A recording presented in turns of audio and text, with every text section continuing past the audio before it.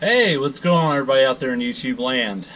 Today, I'm going to be answering questions about a GM24X conversion to a small block Chevy, you know, your Gen 1 small block. There are kits out there available for, you know, the Gen 2 uh, LTX motors, and those all work great. So, we're going to preface this conversation with why did you do this?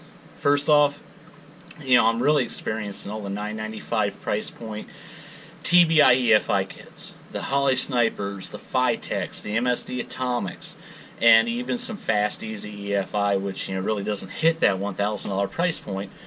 But we're looking at you know lumping this 24x setup into the same price range, and what is the usability differences, and what do you gain out of a 24x setup over the standard uh, Holley EFI, the sniper kit with an MSD distributor, or the Holley you know, distributor that you can actually use the Holley to program you know to handle the timing.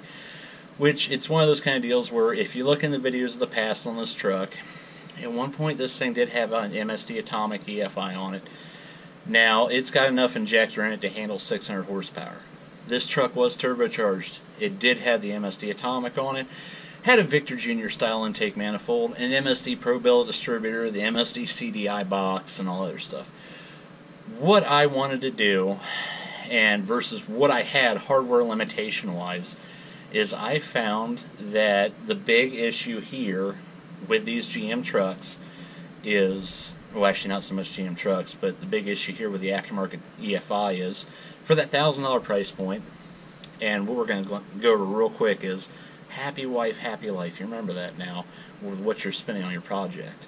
You, you know, those thousand dollars on that MSD Atomic. Sure, it worked great, drove good, handled the boost, and did everything else really well. And you know, it was a good, good setup. But the problem is, it only had enough injector, and they are proprietary injectors, to where the MSD checked out 600 horsepower and we found that it was trying to command way more injector duty cycle than what was what it was able to supply. Right at about I don't know 10, 12 psi, it was I'm done. It was trying to command well over 100% injector duty cycle, and just we couldn't get any more fuel through it.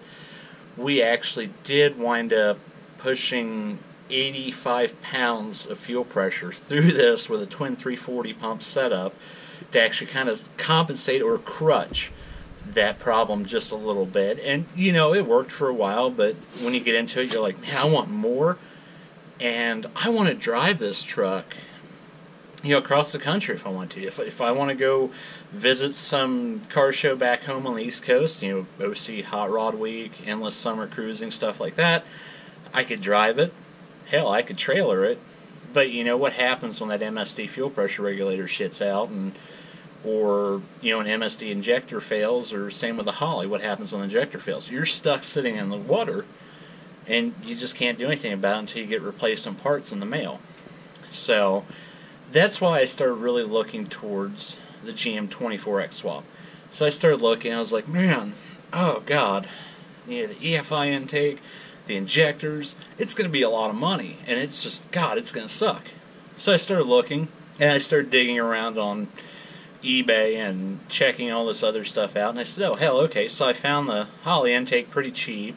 Found the uh, throttle body elbow cheap. Got the throttle body. It's one of those Chinese specials, and you know it works well for what it is. Now, you know I'm running a bit bigger of an injector, but you can even run stock LS truck injectors, depending on what you guys want to do and how your setup is. I mean, it really all depends. Uh, now, going back to this, I wanted to be able to drive this truck everywhere. So I broke down on the side of the road, uh, say my engine coolant temperature sensor shits out, and well, you know what happens in a newer LS truck or newer vehicle period when one of those goes to shit. It really richens up in kind of a fail-safe mode just to get you where you need to go because it thinks, you know, it's super cold and before you know it, you're popping, cracking, and farting trying to cruise down the highway, and the sucker has no power whatsoever. So what you have to do with that is, you know, simplify your setup. Really simplify it, and that's what I found with this. Say anything breaks down going down the road or you know, whatever. I mean anything sensor wise I have an issue with, I can walk into a local parts store and I can go to the counter and I go, look, I need an engine coolant temperature sensor for a 99 Silverado 1500 with a 5.3 in it. And they'll go, okay, here you go. And then bam, I bolt the sensor back in and I'm good to go. Now, the biggest worry I had about that is, is like, okay, is all this stuff going to be available? Well, so you start looking and you go, holy crap, GM made just tons of these trucks. So this stuff is out there and it's easy to find the parts. If you don't want to go to the parts store, hit a junkyard up. The parts are probably there and it's going to make life really easy on you.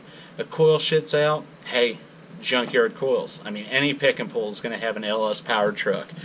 You know, who cares if the motor's any good as long as it's got a good coil on it? Swap your coil out and run with it. That's where I went with this setup was serviceability, drivability, and just how good overall this setup is in comparison to running an aftermarket EFI, uh, like I said, the 995 price point TBI units versus what I'm building here and what I'm wiring. so, at the end of the day, this stuff works great. It fires right up. It doesn't matter if it's 10 degrees outside or 100 degrees. The days of your small block issues of the thing firing up, they are long gone. I mean, this thing is crisp at 10 degrees. It's crisp at 100 degrees outside. It doesn't care, and that's the best part of it. So, you know, it, it's just really hard to beat this setup for the money. So what we're going to consider this is this is going to be a primer video and a real good start to kind of get your feet wet with the GM24X setup on a small block because I guess there are some of us out there who are still mentally ill enough to want to run a GM small block when you, you know you have your sea of LS motors and other options available. But you know, I, I like personally, I like engineering power. I don't like really going out and doing a forum build and you know, hey Joe, what kind of cam did you run? What kind of, you know, did you do rocker trunnions to your 5.3? You know, there's nothing wrong with that.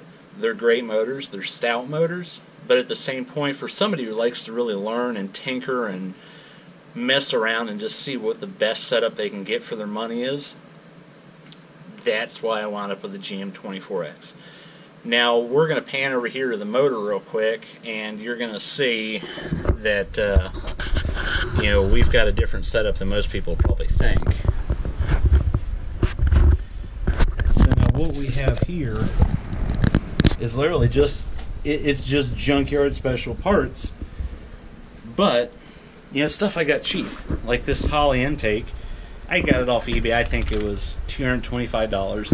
You can get one of those Speedmaster intakes really, really cheap and not have a big issue with it. I'm sure it'll work just fine. You can use your stock truck, you know, five three injectors and all that other good stuff and be just fine. You know, I've got my uh, I've got my uh, coil packs welded on via ICT billet, uh, you know, brackets. They're, they're cheap, forty dollar brackets with a I don't know, $35 set of coils.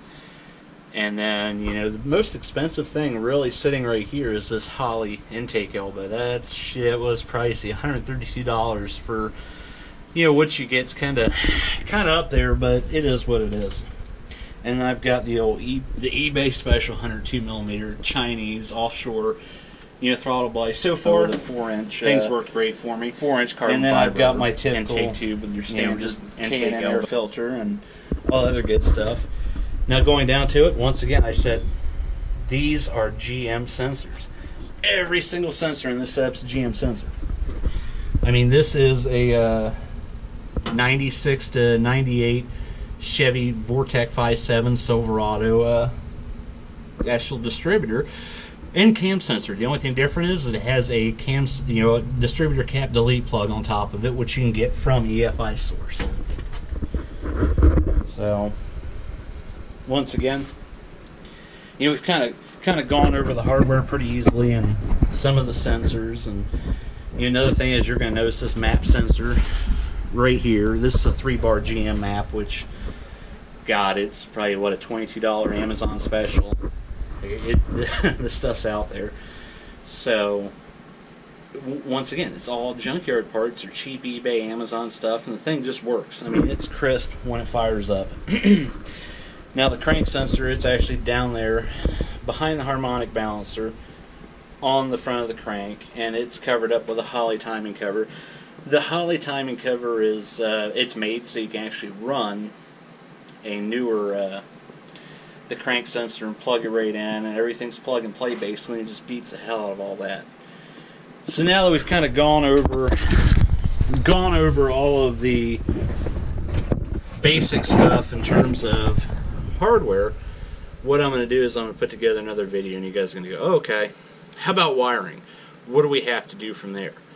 That's one of those things where we will work towards that and get an answer of and just kind of really clarify this whole setup because once again there's not a lot of information out there on YouTube about how to do this.